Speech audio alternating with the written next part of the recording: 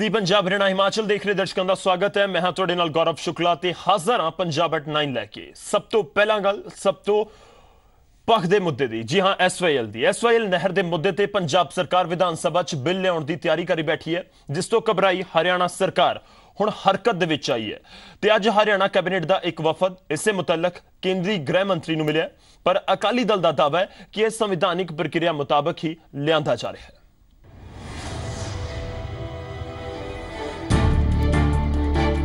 SYL ਦੇ ਮੁੱਦੇ ਤੇ ਪੰਜਾਬ ਸਰਕਾਰ ਦੀ ਸਰਗਰਮੀ ਤੋਂ ਬਾਅਦ ਹਰਿਆਣਾ ਸਰਕਾਰ ਵੀ ਹਰਕਤ ਵਿੱਚ ਆਈ ਹੈ। ਹੁਣ ਤੱਕ ਬਿਆਨਬਾਜ਼ੀ ਰਾਹੀਂ ਪਾਣੀਆਂ ਤੇ ਆਪਣਾ ਦਾਅਵਾ ਠੋਕਣ ਵਾਲੀ ਹਰਿਆਣਾ ਸਰਕਾਰ ਦਾ ਇੱਕ ਵਫਦ ਕੇਂਦਰੀ ਗ੍ਰਹਿ ਮੰਤਰੀ ਰਾਜਨਾਥ ਸਿੰਘ ਨੂੰ ਮਿਲਣ ਪਹੁੰਚਿਆ ਤੇ ਇਸ ਮਸਲੇ ਤੇ ਹਰਿਆਣਾ ਦੇ ਤੌਖਲਿਆਂ ਤੋਂ ਜਾਣੂ ਕਰਵਾਇਆ। ਹਰਿਆਣਾ ਸਰਕਾਰ ਅਕਾਲੀ ਦਲ ਦੇ ਐਸਵਾਈਐਲ ਲਈ ਐਕਵਾਇਰ ਕੀਤੀ ਗਈ ਜ਼ਮੀਨ ਉਸ ਦੇ ਅਸਲ ਵਾਰਸ ਨੂੰ ਵਾਪਸ ਮੋੜਨ ਮੁਤਲਕ ਲਿਆਂਦੇ ਜਾ ਰਹੇ ਬਿੱਲ ਤੋਂ ਘਬਰਾਈ ਹੋਈ ਹੈ ਤਾਂ ਦੂਜੇ ਪਾਸੇ ਪੰਜਾਬ ਸਰਕਾਰ ਵੀ ਐਸਵਾਈਐਲ ਦੇ ਮੁੱਦੇ ਤੇ ਪਿੱਛੇ ਹਟਦੀ ਨਜ਼ਰ ਨਹੀਂ ਆ ਰਹੀ ਤੇ ਪੰਜਾਬ ਵਿਧਾਨ ਸਭਾ ਵਿੱਚ ਸੋਮਵਾਰ ਨੂੰ ਬਿੱਲ ਲਿਆਉਣ ਦੀ ਤਿਆਰੀ ਵਿੱਚ ਹੈ जो पंजाब ने कल एक कैबिनेट में निर्णय लिया है कि जो एस की ज़मीन उनके इलाके में पड़ती है और उसके डी एक्विजेशन के लिए वो कानून लेके आ रहे हैं तो उसकी हमने इन पर हरियाणा की नाराजगी उस विषय पर जताई है कि ये एक अंतर्राज्यीय समझौता है संविधान की मूल भावना के विपरीत वो जा रहे हैं इसलिए पंजाब सरकार को इस पर रोका जाना चाहिए ਹਰਿਆਣੇ ਦੇ ਮੁੱਖ ਮੰਤਰੀ ਸਾਹਿਬ ਤੇ ਮੰਤਰੀ ਸਾਹਿਬਾਨ ਤੇ ਸਾਰੇ ਮੈਂਬਰ ਪਾਰਲੀਮੈਂਟ ਨੂੰ ਅਸੀਂ ਇਹੀ ਅਪੀਲ ਕਰਦੇ ਹਾਂ ਵੀ ਕੋਈ ਵੀ ਐਸਾ ਕਦਮ ਪੰਜਾਬ ਨਹੀਂ ਚੱਕਦਾ ਜਿਹੜਾ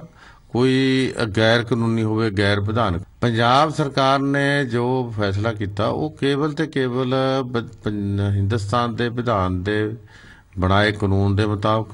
ਪੰਜਾਬ ਬੀਜੇਪੀ ਦਾ ਇਸ ਮਸਲੇ ਤੇ ਬਿਲਕੁਲ ਸਟੈਂਡ ਸਪਸ਼ਟ ਹੈ ਔਰ ਅਸੀਂ ਐਸਵਾਈਐਲ ਦੇ ਮੁੱਦੇ ਦੇ ਉੱਤੇ ਯੂਨਾਈਟ ਸਾਡਾ ਗਠਬੰਧਨ ਇੱਕੋ ਵਿਚਾਰ ਵਿੱਚ ਕੰਮ ਇਨ ਪੰਜਾਬ ਦਾ ਪਾਣੀ, ਪੰਜਾਬ ਦਾ ਅਧਿਕਾਰ ਹੈ ਔਰ ਔਰ ਐਸੇ ਅਸੀਂ ਹਰ ਸੰਘਰਸ਼ ਸੇ ਤਿਆਰ ਉਧਰ ਸੋਸ਼ਲ ਮੀਡੀਆ ਤੇ ਵੀ ਵਾਰ ਪਲਟਵਾਰ ਦੀ ਸਿਆਸਤ ਪੱਕੀ ਹੋਈ ਹੈ ਕੇਂਦਰੀ ਮੰਤਰੀ ਹਰਸਿਮਰਤ ਕੌਰ ਬਾਦਲ ਨੇ ਟਵੀਟ ਕਰ ਇਸ ਮੁੱਦੇ ਤੇ ਕੁਮਾਰੀ ਸੈਲਜਾ ਦੇ ਸਟੈਂਡ ਦਾ ਹਵਾਲਾ ਦਿੰਦਿਆਂ ਕੈਪਟਨ ਅਮਰਿੰਦਰ ਸਿੰਘ ਨੂੰ ਘੇਰਿਆ ਤੇ ਅਸਤੀਫੇ ਦੀ ਮੰਗ ਤੱਕ ਕਰ ਦਿੱਤੀ ਹੈ ਉਹਨਾਂ ਨੇ ਕਿਹਾ ਕਿ ਕੈਪਟਨ ਉਸੇ ਪਾਰਟੀ ਤੋਂ ਆਉਂਦੇ ਨੇ ਜਿਸ ਨੇ ਐਸਵਾਈਐਲ ਦੀ ਸ਼ੁਰੂਆਤ ਕੀਤੀ ਸੀ ਉਧਰ ਆਈਐਨਐਲਡੀ ਦੇ ਐਮਪੀ ਦੁਸ਼ਯੰਤ ਚੌਟਾਲਾ ਨੇ ਵੀ ਐਸਵਾਈਐਲ ਦੇ ਮੁੱਦੇ ਤੇ ਟਵੀਟ ਕਰਕੇ ਆਪਣੀ رائے ਰੱਖੀ ਹੈ ਤੇ ਹਰਿਆਣਾ ਸਰਕਾਰ ਤੇ ਨਿਸ਼ਾਨਾ ਸਾਧਿਆ ਉਹਨਾਂ ਲਿਖਿਆ ਕਿ ਐਸਵਾਈਐਲ ਦੇ ਮੁੱਦੇ ਤੇ ਸੂਬਾ ਸਰਕਾਰ ਫੇਲ ਹੈ।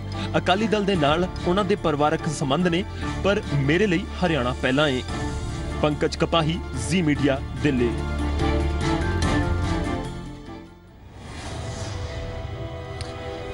ਹਰਿਆਣਾ ਦੇ ਵਿੱਚ ਵੀ ਐਸਐਲ ਐਸਵਾਈਐਲ ਦੇ ਮੁੱਦੇ ਦੀ ਗੂੰਜ ਸੁਣਾਈ ਦੇ ਰਹੀ ਹੈ। ਹਰਿਆਣਾ ਸਰਕਾਰ ਦੇ ਵੱਲੋਂ ਬੁਲਾਈ ਗਈ ਸਰਵ ਪਾਰਟੀ ਬੈਠਕ ਖਤਮ ਹੋ ਚੁੱਕੀ ਹੈ। ਸਰਵ ਪਾਰਟੀ ਬੈਠਕ ਵਿੱਚ ਐਸਵਾਈਐਲ ਤੇ ਪੰਜਾਬ ਸਰਕਾਰ ਦੇ ਵੱਲੋਂ ਚੁੱਕੇ ਗਏ ਕਦਮ ਤੇ ਨਾਰਾਜ਼ਗੀ ਜ਼ਾਹਰ ਕੀਤੀ ਗਈ। ਨਾਲ ਹੀ ਹਰਿਆਣਾ ਦੇ ਹਿੱਸੇ ਦੇ ਪਾਣੀ ਦੇ ਲਈ ਅੱਗੇ ਦੀ ਰਣਨੀਤੀ ਉੱਤੇ ਵਿਚਾਰਾਂ ਵੀ ਹੋਈਆਂ। ਮੁੱਖ ਮੰਤਰੀ ਖੱਟਰ ਨੇ ਕਿਹਾ ਕਿ ਪੰਜਾਬ ਦੇ ਵੱਲੋਂ ਚੁੱਕੇ ਗਏ ਕਦਮ ਤੇ ਗ੍ਰਹਿ ਮੰਤਰੀ ਨੂੰ ਨਾਰਾਜ਼ਗੀ ਜਤਾ ਦਿੱਤੀ ਗਈ ਹੈ ਤੇ ਜੇਕਰ ਪੰਜਾਬ ਸਰਕਾਰ ਬਿੱਲ ਲਿਆਉਂਦੀ ਹੈ ਤਾਂ ਰਾਜਪਾਲ ਤੋਂ ਪੰਜਾਬ ਸਰਕਾਰ ਨੂੰ ਬਰਖਾਸਤ ਕਰਨ ਦੀ ਮੰਗ ਕੀਤੀ ਜਾਏਗੀ।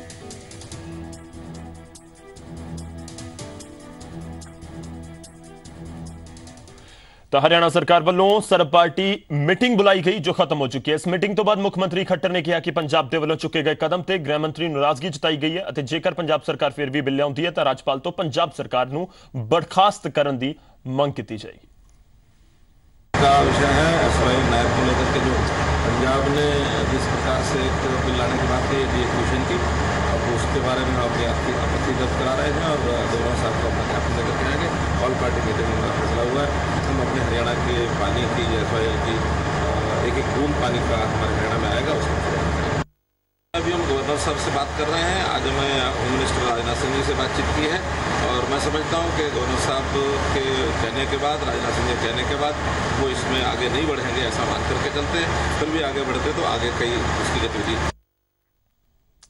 ਅੱਗੇ ਵਧਦੇ ਹਾਂ। ਪੰਜਾਬ ਕਾਂਗਰਸ ਦੇ ਆਗੂ ਅੱਜ ਦਿੱਲੀ ਵਿੱਚ ਪਾਰਟੀ ਦੇ ਕੌਮੀ ਮੀਤ ਪ੍ਰਧਾਨ ਰਾਹੁਲ ਗਾਂਧੀ ਨਾਲ ਮੁਲਾਕਾਤ ਕਰ ਰਹੇ ਨੇ। ਇਸ ਮੁਲਾਕਾਤ ਵਿੱਚ ਕੈਪਟਨ ਅਮਰਿੰਦਰ ਸਿੰਘ ਅਤੇ ਪੰਜਾਬ ਕਾਂਗਰਸ ਦੇ ਸਿਆਸੀ ਰਣਨੀਤੀਕਾਰ ਪ੍ਰਸ਼ਾਂਤ ਕਿਸ਼ੋਰ ਵੀ ਮੌਜੂਦ ਨੇ। ਰਾਹੁਲ ਗਾਂਧੀ ਦੇ ਨਾਲ ਹੋ ਰਹੀ ਇਸ ਮੁਲਾਕਾਤ ਵਿੱਚ ਪਾਰਟੀ ਦੇ ਪੰਜਾਬ ਤੋਂ ਐਮਪੀਜ਼ ਸਣੇ ਕਈ ਵੱਡੇ ਆਗੂ ਵੀ ਮੌਜੂਦ ਨੇ। ਦੱਸਿਆ ਜਾ ਰਿਹਾ ਹੈ ਕਿ ਇਸ ਬੈਠਕ ਵਿੱਚ ਪੰਜਾਬ ਦੀਆਂ ਵਿਧਾਨ ਸਭਾ ਚੋਣਾਂ ਨੂੰ ਲੈ ਕੇ ਮੰਥਨ ਹੋ ਰਿਹਾ ਹੈ ਅਤੇ ਆਉਣ ਵਾਲੀ ਚੋਣਾਂ ਨੂੰ ਲੈ ਕੇ ਰਣਨੀਤੀ ਉੱਤੇ ਵੀ ਵਿਚਾਰਾਂ ਕੀਤੀਆਂ ਜਾ ਰਹੀਆਂ ਨੇ।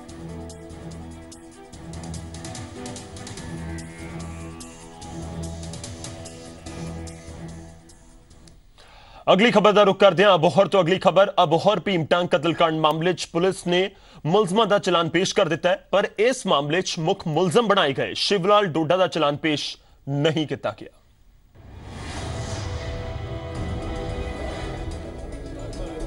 ਅਬੋਰ ਦੇ ਬਹੁਤ ਚਰਚਿਤ ਕਤਲ ਕਾਂਡ ਮਾਮਲੇ ਦੇ ਵਿੱਚ ਅਖੀਰ ਪੁਲਿਸ ਨੇ 24 ਮੁਲਜ਼ਮਾਂ ਦਾ ਚਲਾਨ ਅਦਾਲਤ ਦੇ ਵਿੱਚ ਪੇਸ਼ ਕਰ ਦਿੱਤਾ ਹੈ। ਕੁੱਲ 26 ਵਿੱਚੋਂ 24 ਦੇ ਖਿਲਾਫ ਚਲਾਨ ਪੇਸ਼ ਹੋਣ ਨਾਲ ਪੀੜਤ ਪਰਿਵਾਰ ਨੂੰ ਇਨਸਾਫ ਦੀ ਕੁਝ ਉਮੀਦ ਜਾਗੀ ਹੈ ਪਰ ਇਸ ਮਾਮਲੇ ਦੇ ਵਿੱਚ ਮੁੱਖ ਮੁਲਜ਼ਮ ਬਣਾਏ ਗਏ ਸ਼ਿਵਲਾਲ ਡੋਡਾ ਤੇ ਰਜਿੰਦਰ ਰਾਜਾ ਦਾ ਚਲਾਨ ਪੇਸ਼ ਨਹੀਂ ਕੀਤਾ ਗਿਆ ਜਿਸ ਨੂੰ ਲੈ ਕੇ ਪੀੜਤ ਪਰਿਵਾਰ ਅੰਦਰ ਕੁਝ ਰੋਸ ਵੀ ਪਾਇਆ ਜਾ ਰਿਹਾ ਹੈ अखबार में भी दिखाया टीवी में भी दिखाया भी ये दोनों इकट्ठे थे अगर इकट्ठे थे अगर अमित की इंक्वायरी पूरी होगी तो शिवलाल डोडा के पीछे कहाँ रहेगी ऐसा कुछ नहीं था कहीं ना कहीं पुलिस इन्हें बचाने की कोशिश कर रही है ਪੀੜਤ ਪਰਿਵਾਰ ਦੇ ਵਕੀਲ ਦੇ ਮੁਤਾਬਕ ਭਾਵੇਂ ਡੋਡਾ ਤੇ ਰਾਜਾ ਦੇ ਖਿਲਾਫ ਚਲਾਨ ਪੇਸ਼ ਨਹੀਂ ਕੀਤਾ ਗਿਆ ਪਰ ਉਹਨਾਂ ਨੂੰ ਇਲਜ਼ਾਮਾਂ ਤੋਂ ਮੁਕਤ ਵੀ ਨਹੀਂ ਕੀਤਾ ਗਿਆ ਕਿਉਂਕਿ ਉਹਨਾਂ ਨੂੰ ਜਾਂਚ ਦੇ ਵਿਸ਼ੇ ਵਿੱਚ ਪਾਇਆ ਗਿਆ ਹੈ ਜਦਕਿ ਸ਼ਿਵਲਾਲ ਡੋਡਾ ਦੇ ਵਕੀਲ ਦੇ ਮੁਤਾਬਕ ਉਹਨਾਂ ਦੇ ਕਲਾਇੰਟ ਦੇ ਖਿਲਾਫ ਹੁਣ ਤੱਕ ਦੀ ਜਾਂਚ ਵਿੱਚੋਂ ਕੁਝ ਵੀ ਮਿਲਿਆ ਨਹੀਂ ਹੈ पेंडिंग इन्वेस्टिगेशन उनको कॉलम नंबर टू में डाला गया है सो दैट इसका मतलब ये नहीं है कि उनको केस से निकाल दिया गया है rather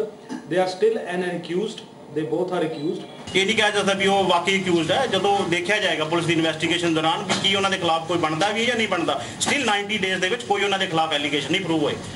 ਇਸ ਹਾਈ ਪ੍ਰੋਫਾਈਲ ਮਾਮਲੇ ਦੇ ਵਿੱਚ ਪ੍ਰਸ਼ਾਸਨ ਕੁਝ ਵੀ ਬੋਲਣ ਨੂੰ ਤਿਆਰ ਨਹੀਂ ਹੈ ਪਰ ਕਾਂਗਰਸ ਨੇ ਪੁਲਿਸ ਦੀ ਕਾਰਵਾਈ ਤੇ ਸਵਾਲ ਖੜੇ ਕੀਤੇ ਨੇ। ਪੰਜਾਬ ਦੇ ਦਲਿਤ ਵਰਗ ਵਾਸਤੇ ਤੇ ਖਾਸ ਤੌਰ ਤੇ ਬਾਲਮੀਕ ਮਜਬੀ ਸਿੱਖ ਬਰਾਦਰੀ ਵਾਸਤੇ ਅੱਜ ਪੰਜਾਬ ਦੇ ਵਿੱਚ ਕਾਲਾ ਦਿਨ ਹੈ। ਸਾਰੇ ਪੰਜਾਬ ਵਿੱਚ ਅਸੀਂ ਇਸ ਦੇ ਖਿਲਾਫ ਪ੍ਰੋਟੈਸਟ ਸ਼ੁਰੂ ਕਰਾਂਗੇ। ਜ਼ਿਕਰਯੋਗ ਹੈ ਕਿ ਅਬੋਹਰ ਦੇ ਇੱਕ ਫਾਰਮ ਹਾਊਸ ਵਿੱਚ ਭੀਮ ਟਾਂਕ ਅਤੇ ਉਸਦੇ ਸਾਥੀ ਦੇ ਹੱਥ ਪੈਰ ਕੱਟ ਦਿੱਤੇ ਗਏ ਸਨ, ਜਿਸ ਦੌਰਾਨ ਭੀਮ ਟਾਂਕ ਦੀ ਮੌਤ ਹੋ ਗਈ ਸੀ। ਸਥਾਨਕ ਪੱਧਰ ਦੀ ਸਿਆਸਤ ਤੋਂ ਲੈ ਕੇ ਲੋਕ ਸਭਾ ਤੱਕ ਇਸ ਮਾਮਲੇ ਦੀ ਗੂੰਜ ਰਹੀ ਹੈ ਅਤੇ ਮਾਨਯੋਗ ਹਾਈ ਕੋਰਟ ਦੀਆਂ ਬਰੂਹਾਂ ਤੱਕ ਵੀ ਇਹ ਮੁੱਦਾ ਪਹੁੰਚਿਆ ਹੈ। ਪੀੜਤ ਪਰਿਵਾਰ ਵੱਲੋਂ ਮੁੱਖ ਮੰਤਰੀ ਨਾਲ ਇਸ ਮੁੱਦੇ ਤੇ ਮੁਲਾਕਾਤ ਕੀਤੀ ਗਈ ਅਤੇ ਮੁੱਖ ਮੰਤਰੀ ਵੱਲੋਂ ਵੀ ਇਨਸਾਫ ਦਾ ਭਰੋਸਾ ਦਿੱਤਾ ਗਿਆ ਹੈ। ਪਰ ਪੁਲਿਸ ਦੀ ਕਾਰਵਾਈ ਨਾਲ ਪੀੜਤ ਪਰਿਵਾਰ ਕਿੰਨਾ ਸੰਤੁਸ਼ਟ ਹੁੰਦਾ ਹੈ, ਇਸ ਦਾ ਪਤਾ ਤਾਂ ਜਾਂਚ ਮੁਕੰਮਲ ਹੋਣ ਦੇ ਬਾਅਦ ਹੀ ਲੱਗੇਗਾ। ਫਾਜ਼ਿਲਕਾ ਤੋਂ ਸੁਨੀਲ ਨਾਗਪਾਲ ਦੇ ਨਾਲ ਪੰਕਜ ਕਪਾਹੀ, ਜ਼ੀ ਮੀਡੀਆ, ਦਿੱਲੀ। ਅੱਗੇ ਵਧਦੇ ਹਾਂ ਅਗਲੀ ਖਬਰ ਅੰਮ੍ਰਿਤਸਰ ਤੋਂ। ਅੰਮ੍ਰਿਤਸਰ 'ਚ ਧਾਰਮਿਕ ਗ੍ਰੰਥ ਦੀ ਬੇਅਦਬੀ ਦਾ ਮਾਮਲਾ ਸਾਹਮਣੇ ਆਇਆ ਹੈ। ਪੁਲਿਸ ਨੇ ਫੌਰਨ ਕਾਰਵਾਈ ਕਰਦੇ ਹੋਏ ਤਿੰਨ ਲੋਕਾਂ ਨੂੰ ਇਸ ਮਾਮਲੇ ਵਿੱਚ ਗ੍ਰਿਫਤਾਰ ਵੀ ਕਰ ਲਿਆ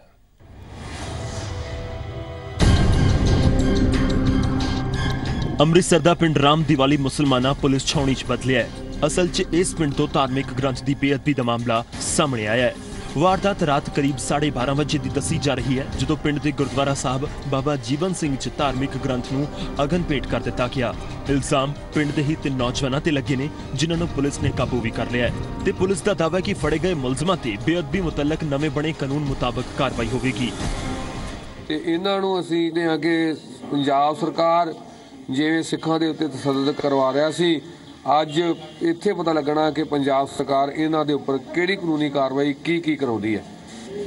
ਬੇਨਤੀ ਹੈ ਸਾਰੇ ਸਿੱਖ ਜਥੇਬੰਦੀਆਂ ਨੂੰ ਜਿੱਥੇ ਜਿੱਥੇ ਦਾ ਪ੍ਰਕਾਸ਼ ਹੈ ਉੱਥੇ ਉੱਥੇ ਸ- ਵੱਧ ਤੋਂ ਵੱਧ ਸਤਿਗੁਰੂ ਦਾ ਸਤਿਕਾਰ ਕੀਤਾ ਜਾਵੇ। ਅੱਜ ਸਵੇਰ ਤਕਰੀਬਨ 12 ਵਜੇ ਦੇ ਕਰੀਬ ਪਿੰਡ ਰਾਮਦਵਾਲੀ ਮੁਸਲਮਾਨਾਂ ਦੇ ਵਿੱਚ ਇੱਕ ਬੜੀ ਅਫਸੋਸਜਨਕ ਘਟਨਾ ਵਾਪਰੀ ਹੈ, ਜਿਹਦੇ ਵਿੱਚ ਉਸੇ ਪਿੰਡ ਦੇ ਹੀ ਪ੍ਰੇਮ ਸਿੰਘ ਨਾਮ ਦੇ ਵਿਅਕਤੀ ਅਤੇ ਉਸਦੇ ਦੋ ਸਾਥੀ ਰਾਜ- ਰਾਜੂ ਮਸੀਹ ਅਤੇ ਸ਼ਮਸ਼ੇਰ ਸਿੰਘ ਨੇ ਪਿੰਡ ਦੇ ਗੁਰਦੁਆਰਾ ਬਾਬਾ ਜੀਵਨ ਸਿੰਘ ਦੇ ਵਿੱਚ ਦਾਖਲ ਹੋ ਕੇ ਦੋ ਪਾਵਨ ਸਰੂਪਾਂ ਨੂੰ ਅਗਨ ਭੇਟ ਕਰ ਦਿੱਤਾ ਅਤੇ ਤਕਰੀਬਨ 10 ਪੋਥੀਆਂ ਸੀਗੀਆਂ, ਉਹਨਾਂ ਨੂੰ ਵੀ ਨਾਲ ਹੀ ਅਗਨ ਭੇਟ ਕਰ ਦਿੱਤਾ। ਉਧਰ ਇਹ ਮਾਮਲਾ ਸਿਆਸੀ ਰੰਗ ਵੀ ਲੈਣ ਲੱਗਾ ਹੈ। ਕਾਂਗਰਸ ਨੇ ਮੁੜ ਵਾਪਰੀ ਇਸ ਤਰ੍ਹਾਂ ਦੀ ਘਟਨਾ ਲਈ ਕਾਨੂੰਨ ਵਿਵਸਥਾ ਨੂੰ ਸਵਾਲਾਂ ਵਿੱਚ ਖੜਾ ਕੀਤਾ ਹੈ। ਤਾਂ ਹਾਕਮ ਧਿਰ ਦੀ ਦਲੀਲ ਹੈ ਕਿ ਇਸ ਪਿੱਛੇ ਸ਼ਰਾਰਤੀ ਅੰਸਰ ਜ਼ਿੰਮੇਵਾਰ ਨੇ ਤੇ ਪਿੰਡਾਂ ਨੂੰ ਆਪਣੇ ਪੱਧਰ ਤੇ ਵੀ ਚੌਕਸੀ ਵਰਤਣੀ ਚਾਹੀਦੀ ਹੈ। ਤਾਂ ਜੋ ਇਸ ਤਰ੍ਹਾਂ ਦੇ ਮਾਮਲਿਆਂ ਨੂੰ ਰੋਕਿਆ ਜਾ ਸਕੇ। ਕੋਈ ਸ਼ਰਾਰਤ ਕਰਕੇ ਇਹ ਇਸ਼ੂ ਉਠਾ ਰਹੇ ਹੈ। ਔਰ ਅਕਾਲੀ ਦਲ ਹਮੇਸ਼ਾ ਹੀ ਜਿਹੜੀ ਹੈਗੀ ਹੈ, ਉਹ ਉਹ ਕਟਰ ਰਾਜਨੀਤੀ ਕਰਦਾ ਰਿਹਾ। ਕਾ- ਕਾਂਗਰਸ ਨੇ ਹਮੇਸ਼ਾ ਹੀ ਸਭ ਧਰਮਾਂ ਨੂੰ ਇਕੱਠਿਆਂ ਲੈ ਕੇ ਚੱਲਣ ਦੀ ਰਾਜਨੀਤੀ ਕੀਤੀ। ਔਰ ਇਹ ਇਹ ਸਾਜ਼ਿਸ਼ ਦੇ ਤਹਿਤ ਇਹ ਜਿਹੜੀ ਹੈ, ਬਾਰ-ਬਾਰ ਬੇਅਦਬੀ ਹੁੰਦੀ ਹੈ। ਅਸੀਂ ਇਹਦੀ ਸਖਤ ਨਖੇਦੀ ਕਰਦੇ ਹਾਂ। ਦੇਖੋ ਗਵਰਨਮੈਂਟ ਦੀ ਤੇ ਜੋ ਡਿਊਟੀ ਬਣਦੀ ਹੈ, ਅਸੀਂ ਤੇ ਆਪਣੀ ਸੰਵਿਧਾਨਕ ਜ਼ਿੰਮੇਵਾਰੀ ਵੀ ਬਣਦੀ ਹੈ। ਇੱਕ ਸਾਡਾ ਜਿਹੜੀ ਹੈ ਨੈਤਿਕ ਡਿਊਟੀ ਵੀ ਬਣਦੀ ਹੈ ਕਿ ਜਿੱਥੇ ਵੀ ਕਿਤੇ ਗੁਰੂ ਗ੍ਰੰਥ ਸਾਹਿਬ ਦੀ ਹੋਵੇ ਜਾਂ ਕਿਸੇ ਹੋਰ ਧਰਮ ਦੀ ਹੋਵੇ, ਸਰਕਾਰ ਹਮੇਸ਼ਾ ਸਖਤੀ ਦੇ ਨਾਲ ਇਸ ਗੱਲ ਨੂੰ ਲੈਂਦੀ ਹੈ। ਜੋ ਸਾਡੀ ਜ਼ਿੰਮੇਵਾਰੀ ਹੈ ਇਸ ਤੇ ਨਿਭਾਵਾਂਗੇ। ਪਰ ਲੋਕਾਂ ਨੂੰ ਵੀ ਨਾਲ ਬੇਨਤੀ ਕਰਦੇ ਹਾਂ ਕਿ ਉਹ ਵੀ ਚੌਕਸ ਰਹਿਣ। ਬਰਗਾੜੀ ਬੇਅਦਬੀ ਮਾਮਲੇ ਦਾ ਸੇਖ ਪੂਰੇ ਸੂਬੇ ਨੇ ਚੱਲਿਆ ਸੀ। ਸੋ ਲੋੜ ਜਿੱਥੇ ਸਦਭਾਵਨਾ ਬਣਾ ਕੇ ਰੱਖਣ ਦੀ ਹੈ, ਤਾਂ ਉੱਥੇ ਪ੍ਰਸ਼ਾਸਨ ਵੱਲੋਂ ਵੀ ਇਸ ਤਰ੍ਹਾਂ ਦੇ ਮਾਮਲਿਆਂ ਨਾਲ ਸਖਤੀ ਨਾਲ ਨਜਿੱਠਣਾ ਚਾਹੀਦਾ ਹੈ, ਤਾਂ ਜੋ ਇਸ ਤਰ੍ਹਾਂ ਦੇ ਮਾਮਲੇ ਸਾਹਮਣੇ ਨਾ ਆਉਣ।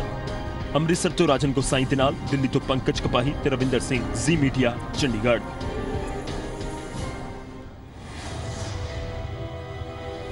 ਅੱਗੇ ਵਧਦੇ ਹਾਂ ਤੇ ਹੁਣ ਗੱਲ ਉਹਨਾਂ ਨੌਜਵਾਨਾਂ ਦੀ ਜੋ ਸੰਗਰੂਰ ਵਿੱਚ ਪੜ੍ਹਦੇ ਨੇ ਤੇ ਮਨਾਲੀ ਦੇ ਵਿੱਚ ਫਸੇ ਹੋਏ ਨੇ। ਜੀ ਹਾਂ, ਕੁੱਲੂ ਦੇ ਚੰਦਰਖਣੀ ਪਾਸ 'ਚ ਫਸੇ 8 ਨੌਜਵਾਨਾਂ ਨੂੰ ਬਚਾਉਣ ਦੇ ਲਈ ਐਨਡੀਆਰਐਫ ਦੀ ਮਦਦ ਲਈ ਜਾਏਗੀ।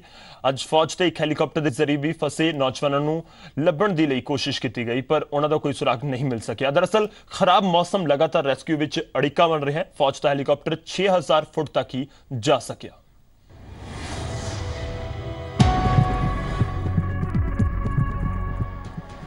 ਮਨਾਲੀ ਤੋਂ 20 ਕਿਲੋਮੀਟਰ ਦੂਰ ਨਗਰ ਪਿੰਡ ਦੇ ਕਰੀਬ ਚੰਦਰਖਾਨੀ ਪਾਸ ਉਚਾਈ ਤਕਰੀਬਨ 12000 ਫੁੱਟ ਉਤੋਂ ਮੀਂਹ ਅਤੇ ਬਰਫ਼ਬਾਰੀ ਅਜਿਹੇ ਹਾਲਾਤ ਵਿੱਚ 8 ਨੌਜਵਾਨ ਫਸੇ ਹੋਏ ਨੇ ਦੋ ਦਿਨ ਬਾਅਦ ਵੀ ਉਹਨਾਂ ਬਾਰੇ ਵਿੱਚ ਪਤਾ ਨਹੀਂ ਲਗਾਇਆ ਜਾ ਸਕਿਆ ਹੈ ਹਾਲਾਂਕਿ ਉਮੀਦ ਜਤਾਈ ਜਾ ਰਹੀ ਹੈ ਕਿ ਸਾਰੇ ਸੁਰੱਖਿਅਤ होंगे अगर तो वो सिविलाइजेशन की तरफ कोई निकले होंगे तो उनके अ, कोई मतलब पूरा जो है वो उनकी जीवित रहने की आशंका है। मतलब जीवित हो सकते हैं वो। अगर कहीं फंसे होंगे तो ऐसा कोई खास मुश्किल कार्य नहीं है, क्योंकि वहाँ पर जो है काफ़ी जंगल है और शेल्टर भी ठीक से हैं। सबसे बड़ी चुनौती ये आ रही है कि उस एरिया में हमें उनका प्रॉपर लोकेशन ना मिलने की वजह से जो टीम को इधर उधर भटकना पड़ रहा है और जो अभी तक की रिपोर्ट के अनुसार जो मेन ट्रेल है जहाँ से वो नीचे की तरफ डिसेंट करते हैं या क- होता है उस एरिया में उनका कोई भी क्लू नहीं मिल रहा है ਇਹ ਨੌਜਵਾਨ ਚੰਦਰਖਨੀ ਟਰੈਕਿੰਗ ਦੇ ਲਈ ਨਿਕਲੇ ਸਨ ਅਤੇ ਇੱਥੇ ਮੌਸਮ ਖਰਾਬ ਹੋਣ ਦੀ ਵਜ੍ਹਾ ਨਾਲ ਫਸ ਗਏ ਵੀਰਵਾਰ ਨੂੰ ਇਹਨਾਂ ਵਿੱਚੋਂ ਇੱਕ ਨੌਜਵਾਨ ਨੇ ਪ੍ਰਸ਼ਾਸਨ ਨੂੰ ਇਸ ਗੱਲ ਦੀ ਇਤਲਾਹ ਦਿੱਤੀ ਸੀ ਇਹਨਾਂ 8 ਨੌਜਵਾਨਾਂ ਵਿੱਚੋਂ ਸੰਗਰੂਰ ਦੇ ਇੱਕ ਪ੍ਰਾਈਵੇਟ ਇੰਸਟੀਚਿਊਟ ਦੇ 7 ਵਿਦਿਆਰਥੀ ਨੇ ਇਹ ਵਿਦਿਆਰਥੀ ਬਿਨਾਂ ਪ੍ਰਬੰਧਨ ਦੀ ਜਾਣਕਾਰੀ ਦੇ ਮਨਾਲੀ ਗਏ ਸਨ ਇਹਨਾਂ ਵਿੱਚ ਇੱਕ ਬਾਗਪਤ, ਉੱਤਰ ਪ੍ਰਦੇਸ਼, ਇੱਕ ਗੁਰਦਾਸਪੁਰ, ਦੋ ਅੰਬਾਲਾ, ਇੱਕ ਸ਼ਿਮਲਾ, ਇੱਕ ਹਮੀਰਪੁਰ ਅਤੇ ਇੱਕ ਚੰਬਾ ਤੋਂ ਹੈ। ਦੇ ਨਿਊਜ਼ ਆਈਟਮ ਦਾ ਜੋ ਰੈਫਰੈਂਸ ਦਿੱਤਾ ਗਿਆ ਕਿ ਸੀ, ਉੱਥੇ ਕੁੱਲੂ ਦੇ ਐਸਐਸਪੀ ਦਾ ਰੈਫਰੈਂਸ ਸੀਗਾ, ਸ਼੍ਰੀ ਪਦਮ ਸਿੰਘ ਜੀ ਦਾ। ਤੇ ਉਸ ਤੋਂ ਬਾਅਦ ਅਸੀਂ ਇੱਥੇ ਟਰੇਸ ਕਰਨਾ ਸ਼ੁਰੂ ਕੀਤਾ ਕਿ ਬੱਚੇ ਸਾਡੇ ਹੈ ਕਿ ਨਹੀਂ ਹੈ, ਜਾਂ ਮਤਲਬ ਕੌਣ ਬੱਚੇ ਹੈ ਇਹ। ਤੇ ਟਰੇਸ ਕਰਨ ਦੇ ਬਾਅਦ ਪਤਾ ਲੱਗਿਆ ਕਿ ਹੋਸਟਲ ਨੰਬਰ 3 ਦੇ 7 ਬੱਚੇ ਗਏ ਹੋਏ ਆ without information and permission from the postal authorities. They have not informed anybody. We are in touch with the authorities of uh, Kullu district.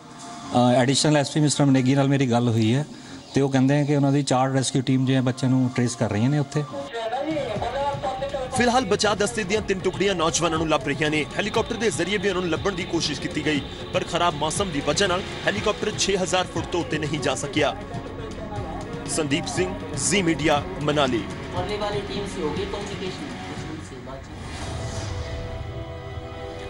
Manali 'ਚ ਲਾਪਤਾ ਹੋਏ 8 ਨੌਜਵਾਨਾਂ ਦੀ ਭਾਲ ਲਈ ਬਚਾਅ ਦਸਤਿਆਂ ਵੱਲੋਂ ਲਗਾਤਾਰ ਕੋਸ਼ਿਸ਼ਾਂ ਜਾਰੀ ਨੇ ਦੂਜੇ ਪਾਸੇ ਸੰਗਰੂਰ 'ਚ ਦੁਆਵਾਂ ਦਾ ਦੌਰ ਜਾਰੀ ਹੈ 8 ਚੋਂ 7 ਨੌਜਵਾਨ ਸੰਗਰੂਰ ਦੇ ਕਾਲਜ ਦੇ ਵਿਦਿਆਰਥੀ ਨੇ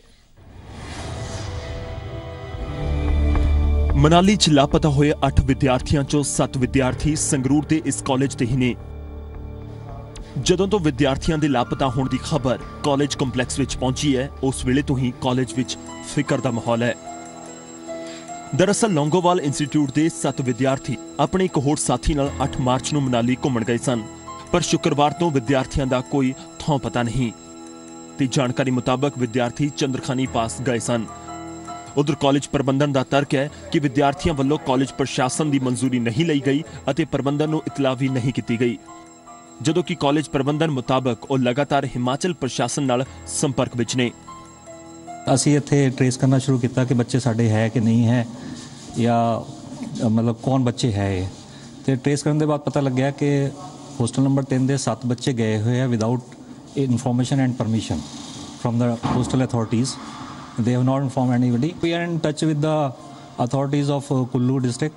Uh, additional SP Mr. ਮਨੇਗੀ ਨਾਲ ਮੇਰੀ ਗੱਲ ਹੋਈ ਹੈ ਤੇ ਉਹ ਕਹਿੰਦੇ ਆ ਕਿ ਉਹਨਾਂ ਦੀ ਚਾਰ ਰੈਸਕਿਊ ਟੀਮ ਜੋ ਬੱਚਿਆਂ ਨੂੰ ਟਰੇਸ ਕਰ ਰਹੀਆਂ ਨੇ ਉੱਥੇ ਤੇ they are likely to reach them by 7 pm ਲਾਪਤਾ ਹੋਣ ਵਾਲੇ ਵਿਦਿਆਰਥੀਆਂ 'ਚ ਅੰਕੁਸ਼ ਕੁਮਾਰ ਗੁਰਦਾਸਪੁਰ ਦਾ, ਜਦਕਿ ਚੇਤਨ ਸ਼ੌਰੀ ਤੇ ਸੌਰਭ ਸ਼ਰਮਾ ਅੰਬਾਲਾ ਸਿਟੀ ਦਾ, ਹਤਿੰਦਰ ਤੇ ਅਕਸ਼ੇ ਸ਼ਿਮਲਾ ਦੇ, ਅਨਿਲ ਕੁਮਾਰ ਹਮੀਰਪੁਰ ਦਾ ਅਤੇ ਰੋਹਿਤ ਕੁਮਾਰ ਉੱਤਰ ਪ੍ਰਦੇਸ਼ ਦਾ ਰਹਿਣ ਵਾਲਾ ਹੈ ਲਾਪਤਾ ਹੋਏ ਨੌਜਵਾਨਾਂ ਦੇ ਸਾਥੀ ਪਰੇਸ਼ਾਨ ਨੇ ਅਤੇ ਹਿਮਾਚਲ ਸਰਕਾਰ ਤੋਂ ਮਦਦ ਦੀ ਅਪੀਲ ਕਰ ਰਹੇ ਨੇ। ਉਧਰ ਪੁਲਿਸ ਵੀ ਕਾਲਜ ਪ੍ਰਸ਼ਾਸਨ ਦੇ ਸੰਪਰਕ ਵਿੱਚ ਹੈ मैं भी उनके साथ जाने वाला था और एट टाइम मेरा प्लान कैंसिल हो गया सर मेरे फ्रेंड है वो साथ हैं सर और एक सीनियर सर हमारे बर्थ सर ठीक है सर और उनका कल कल शायद फ़ोन हुआ है उनसे उनके बड़े ब्रदर से कि वो फंस चुके हैं वहाँ पर सर तो मेरी हिमाचल गवर्नमेंट से यही अपील है कि जल्दी से जल्दी उनको निकाला जाए किसी भी तरीके से ਅੱਛਾ ਨਿਊਜ਼ ਤੋਂ ਪਤਾ ਲੱਗੀ ਜੀ ਇਸ ਕਰਕੇ ਜੋ ਸਲਾਈਟ ਕਾਲਜ ਹੈ ਸਾਡੇ ਏਰੀਆ 'ਚ ਪੈਂਦਾ ਉੱਥੇ ਆ ਕੇ ਹੁਣ ਪਤਾ ਲੱਗਿਆ ਵੀ ਜਿਹੜੇ ਸੱਤ ਬੱਚੇ ਨੇ ਇਹਨਾਂ ਦੇ 8 ਤਰੀਕ ਤੋਂ ਅਨਅਫੀਸ਼ੀਅਲੀ ਇੱਥੋਂ ਚਲੇ ਗਏ ਨੇ ਤੇ ਜਿਹੜੇ ਹਿਮਾਚਲ ਦੇ ਕੁੱਲੂ ਦੇ ਵਿੱਚ ਏਰੀਆ 'ਚ ਗਏ ਸੀਗੇ, ਉੱਥੇ ਕਿਸੇ ਕਾਰਨ ਕਰਕੇ ਫਸ ਗਏ ਨੇ ਤੇ ਉਹਨਾਂ ਬਾਰੇ ਜਾਣਕਾਰੀ ਲੈਣ ਵਾਸਤੇ ਇੱਥੇ ਆਏ ਸੀਗੇ।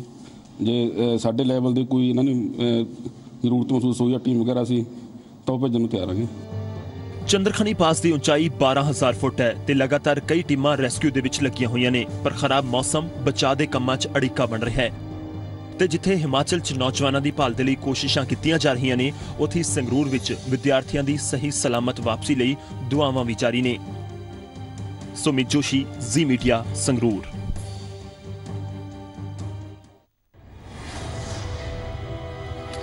ਅੱਗੇ ਵਧਦੇ ਹਾਂ ਤੇ ਹੁਣ ਗੱਲ ਮੌਸਮ ਦੀ ਤੇ ਕਿਸਾਨਾਂ ਦੀ। ਬੇਮੌਸਮੀ ਮੀਂਹ ਨੇ ਪੰਜਾਬ ਦੇ ਕਿਸਾਨਾਂ ਦੇ ਮੱਥੇ ਤੇ ਵੱਟ ਪਾ ਦਿੱਤੇ ਨੇ। ਮੀਂਹ ਦੀ ਵਜ੍ਹਾ ਕਰਕੇ ਕਣਕ ਦੀ ਖੜੀ ਫਸਲ ਡਿੱਗ ਗਈ ਹੈ ਜਿਸ ਦੀ ਵਜ੍ਹਾ ਕਰਕੇ ਲੁਧਿਆਣਾ ਵਿੱਚ ਕਈ ਏਕੜ ਫਸਲ ਤਬਾਹ ਹੋ ਗਈ ਹੈ। ਕਿਸਾਨ ਸਰਕਾਰ ਕੋਲੋਂ ਮੁਆਵਜ਼ੇ ਦੀ ਹੁਣ ਮੰਗ ਕਰ ਰਹੇ ਨੇ।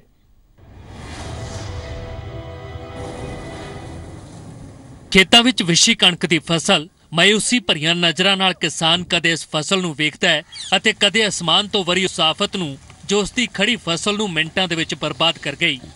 ਤਸਵੀਰਾਂ ਲੁਧਿਆਣਾ ਦੇ ਪਿੰਡ ਕੁਤਬੇਵਾਲ ਦੀਆਂ ਨੇ ਜਿੱਥੇ ਹਜ਼ਾਰਾਂ ਏਕੜ ਫਸਲ ਬਰਬਾਦ ਹੋ ਗਈ ਹੈ। ਡਿੱਗੀ ਫਸਲ ਦਾ ਬਾਜ਼ਾਰ ਦੇ ਵਿੱਚ ਕੀ ਮੁੱਲ ਪਵੇਗਾ ਇਸ ਦਾ ਅੰਦਾਜ਼ਾ ਲਾਇਆ ਜਾ ਸਕਦਾ ਹੈ। ਫਿਲਹਾਲ ਕਿਸਾਨ ਇੱਕ ਵਾਰ ਮੁੜ ਤੋਂ ਸਰਕਾਰ ਤੇ ਨਜ਼ਰ ਲਾਈ ਬੈਠੇ ਨੇ ਅਤੇ ਉਮੀਦ ਕਰ ਰਹੇ ਨੇ ਕਿ ਉਹਨਾਂ ਦੇ ਨੁਕਸਾਨ ਦਾ ਮੁਆਵਜ਼ਾ ਉਹਨਾਂ ਨੂੰ ਮਿਲੇਗਾ। ਮੇਰੀ ਆਪਣੀ 8 ਕਿੱਲੇ ਆ ਉਹ ਜਮਾ ਲੰਬੇ ਪੈ ਗਏ ਅੱਛਾ। ਤੇ ਹੁਣ ਉਹਦਾ ਦੇਖੋ ਜੀ ਗਵਰਨਮੈਂਟ ਕੁਝ ਕਰਦੀ ਆ ਕਿ ਨਹੀਂ ਕਰਦੀ। ਹੂੰ। ਤੇ ਬਾਕੀ ਸਾਡਾ ਖਰਚਾ ਬਹੁਤ ਹੋ ਚੁੱਕਾ ਜੀ ਬਹੁਤ ਜ਼ਿਆਦਾ ਨੁਕਸਾਨ ਹੋਇਆ ਸਰਕਾਰ ਤੋਂ ਮੰਗ ਕਰਦੇ ਆ ਕਿ ਮੁਆਵਜ਼ਾ ਦਿੱਤਾ ਜਾਵੇ ਸਾਨੂੰ ਤੇ ਜਾਂ ਇਹਦਾ ਕੋਈ ਹੋਰ ਹੱਲ ਕੀਤਾ ਜਾਵੇ ਇੰਸ਼ੋਰੈਂਸ ਕੀਤੀ ਜਾਵੇ ਕੋਈ ਕਿਸੇ ਤਰ੍ਹਾਂ ਦੀ ਵੀ ਜੋ ਇਹ ਨੁਕਸਾਨ ਹੁੰਦੇ ਰਹਿੰਦੇ ਆ ਤੇ ਉਹਨਾਂ ਦੀ ਭਰਪਾਈ ਕੀਤੀ ਜਾ ਸਕੇ हमारे तो कर्जा लिया है बैंक से वो भी अब मोड़ना मुश्किल हो जाएगा हम तो पूरी तरह बर्बाद हो गए ਉਧਰ ਬਰਬਾਦ ਹੋਈ ਫਸਲ ਦੇ ਨੁਕਸਾਨ ਲਈ ਕਿਸਾਨ ਸਰਕਾਰ ਤੋਂ ਮਦਦ ਦੀ ਟੇਕ ਲਈ ਬੈਠੇ ਨੇ ਤਾਂ ਕੁਝ ਕਿਸਾਨਾਂ ਦਾ ਹੁਣ ਤੱਕ ਦਾ ਤਜਰਬਾ ਨਿਰਾਸ਼ਾ ਭਰਿਆ ਰਿਹਾ ਹੈ। ਕਿਸਾਨਾਂ ਦਾ ਕਹਿਣਾ ਹੈ ਕਿ ਜਦੋਂ ਵੀ ਕਿਸਾਨ ਦੇ ਸਿਰ ਤੇ ਕੁਦਰਤ ਦੀ ਆਫਤ ਆਉਂਦੀ ਹੈ, ਤਾਂ ਵਾਅਦੇ ਤਾਂ ਬਥੇਰੇ ਕੀਤੇ ਜਾਂਦੇ ਨੇ, ਪਰ ਜ਼ਮੀਨੀ ਪੱਧਰ ਤੇ ਕੁਝ ਨਹੀਂ ਕੀਤਾ ਜਾਂਦਾ। ਬੇਮੌਸਮੀ ਬਰਸਾਤ ਆ ਜੀ ਇਹ, ਤੇ ਬੇਮੌਸਮੀ ਬਰਸਾਤ ਦੇ ਨਾਲ ਨੁਕਸਾਨ ਬਹੁਤ ਜ਼ਿਆਦਾ ਹੋਇਆ ਜੀ ਕਿਸਾਨ ਦਾ। ਅੱਗੇ ਦੇਖ ਲਓ ਵੀ ਆਪਣੇ ਕਦੇ ਵਾਈਟ ਮੱਖੀ ਪੈ ਗਈ, ਕਦੇ ਕੁਛ ਨੁਕਸਾਨ ਹੋਇਆ, ਤੇ ਸਰਕਾਰਾਂ ਕਹਿੰਦੀਆਂ ਰਹਿੰਦੀਆਂ ਵੀ ਅਸੀਂ ਕਰਾਂਗੇ ਭਰਪਾਈ ਕਰਾਂਗੇ, ਪਰ ਨਹੀਂ ਹੋ ਰਹੀ। ਕਦੇ ਕੁਦਰਤ ਦੀ ਮਾਰ ਅਤੇ ਕਦੇ ਸਿਸਟਮ ਦੀ ਬੇਰੁਖੀ। ਹਰ ਵਾਰ ਖਮਿਆਜ਼ਾ ਅੰਨਦਾਤਾ ਨੂੰ ਭੁਗਤਣਾ ਪੈਂਦਾ ਹੈ। ਕਿਸਾਨਾਂ ਨੂੰ ਅਜਿਹੀ ਕੁਦਰਤੀ ਆਫਤ ਤੋਂ ਬਚਾਉਣ ਦੇ ਲਈ ਠੋਸ ਨੀਤੀ ਬਣਾਉਣ ਦੀ ਲੋੜ ਹੈ। ਕੇਂਦਰ ਸਰਕਾਰ ਕਿਸਾਨ ਬੀਮਾ ਯੋਜਨਾ ਦਾ ਐਲਾਨ ਕਰ ਚੁੱਕੀ ਹੈ, ਪਰ ਇਸ ਬੀਮਾ ਯੋਜਨਾ ਵਿੱਚ ਵੀ ਕਿਸਾਨਾਂ ਦੇ ਕੁਝ ਖਦਸ਼ੇ ਨੇ, ਜਿਨ੍ਹਾਂ ਨੂੰ ਜਲਦ ਦੂਰ ਕਰਨਾ ਹੋਵੇਗਾ, ਕਿਉਂਕਿ ਪੂਰੇ ਮੁਲਕ ਦਾ ਪੇਟ ਭਰਨ ਵਾਲੇ ਕਿਸਾਨ ਦੇ ਪੇਟ ਦਾ ਧਿਆਨ ਰੱਖਣਾ ਸਰਕਾਰ ਦੀ ਜ਼ਿੰਮੇਵਾਰੀ ਹੈ। Naveen Sharma, Zee Media Ludhiana.